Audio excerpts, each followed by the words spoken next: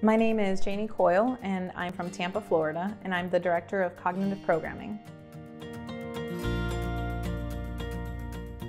Helping Hands is our program that we really